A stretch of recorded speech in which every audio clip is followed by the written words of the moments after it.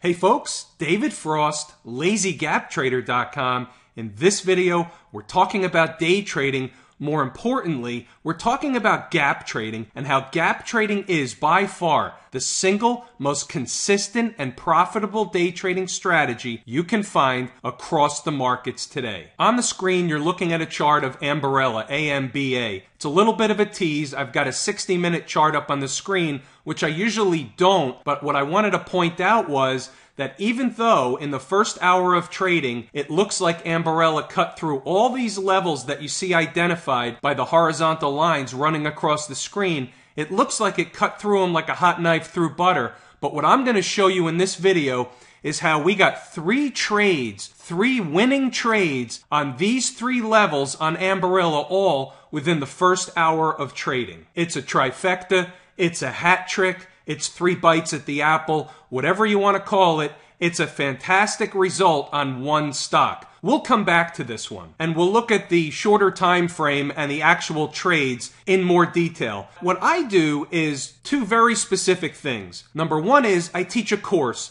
where I teach two gap trading strategies. One is the morning gap trades and the second strategy are gap fill trades. I teach everything traders need to know in this course in order to trade the gaps successfully. Everything you're going to see in this video is taught right out of the course. The second thing I do is I give traders an opportunity to get my gap trades sent to them each and every morning at 9 o'clock a.m. Eastern Standard Time, 30 minutes before the market even opens for trading. Let's review today's email and then we'll come back and pick apart the charts. Here's a copy of what was sent at 9 o'clock a.m. Eastern Standard Time, 30 minutes before the market is even opened for business. Today we had four potential morning gap trades on the board. Only one hit its levels. However, it hit all three levels that was provided to my traders at 9 o'clock in the morning. The other three stocks did not hit the levels that we were willing to place trades at. When that doesn't happen, when stocks don't hit the specified levels as taught how to calculate in the course, we don't want the trade. We only want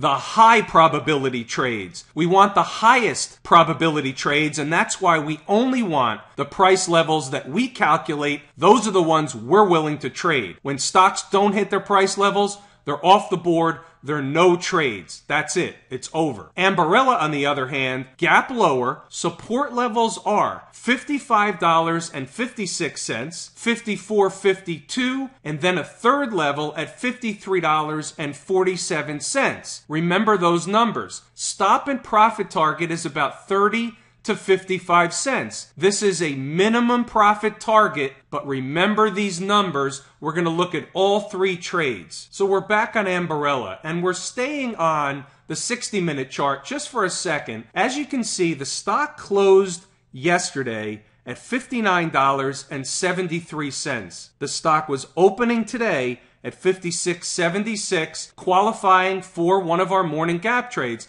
it opened about 5% and it went lower. So the morning gap trades are when we can identify specific price levels where these stocks will A, be drawn to and B, have a price reaction in the other direction. Sometimes the price reaction will be very quick and large. Sometimes it will be very quick and small. Sometimes it will take longer than others. You never know exactly what you're going to get in the market. You take what the market gives you each and every day. Now let's take a look at exactly what the market gave us on Ambarella. I took it down to a one minute chart so that we can magnify exactly what happened to the stock minute by minute. The second minute of the day, the stock made a low of $55.35 within our stop loss limitation. And in the fourth minute of the day, the stock was already at a high of 56.44 for about an 88 cent gain in just two minutes of trading from our entry price. Some traders might have gotten 30 cents, some might have gotten 50 cents, some might have gotten 75 cents. It's up to the individual trader and where you put your exit orders. All this is discussed in the course at Lazy Gap Trader. So the first trade's over and the stock comes down farther and it goes past the first level and starts making its way down to the second price level identified before the market was even opened for business. And what happened?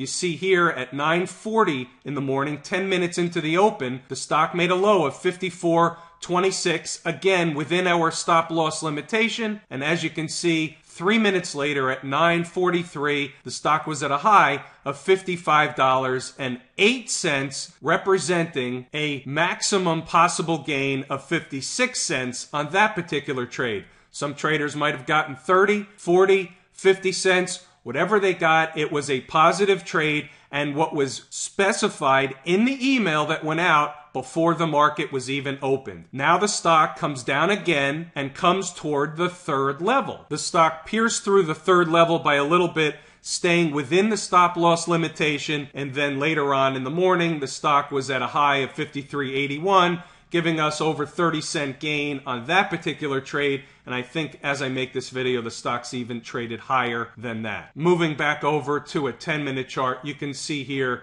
where the stock has traded as high as 53.89 from when it hit the third level. That's the third trade, positive trade on the same stock in the morning session on one of our morning gap trades that anybody that's taken my course at Lazy Gap Trader was able to identify the fact that this stock qualified for a morning gap trade and how to calculate the same levels that you see here in this video all could have been done with anybody that has gone through the gap trading course. Folks, if you want to learn more, I can teach you everything you need to know in order to trade the gaps successfully. I'm David Frost, lazygaptrader.com. Thanks for tuning in, traders.